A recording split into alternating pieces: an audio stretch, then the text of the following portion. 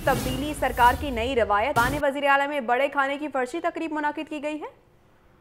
अभी बिल्कुल फौज और पुलिस की तर्ज पर ऐवान वज़ीर अला में भी बड़े खाने की जो है वो रिवायत नई कायम की गई है और वज़ीर अला पंजाब सरदार उस्मान बुजदार ने जो ग्रेड एक से ग्रेड इक्कीस तक अमला जो है, उसके एजाज में जो है वो खाना दिया और इस मौका पर उन्होंने उन मुलाजिम की जो है, उनके साथ फर्दन फर्दन मुसाफा किया, उनके साथ मिले और उनकी खुशी में शरीक हुए। वज़ीर अला का कहना था कि आज उन्होंने आप सबको अपने घर इसलिए बुलाया कि वो आपको अपने घर का फर्द समझते हैं और उस मौका पर उन्होंने उनके लिए चार माह का जो है एजाजिया देने का भी ऐलान किया।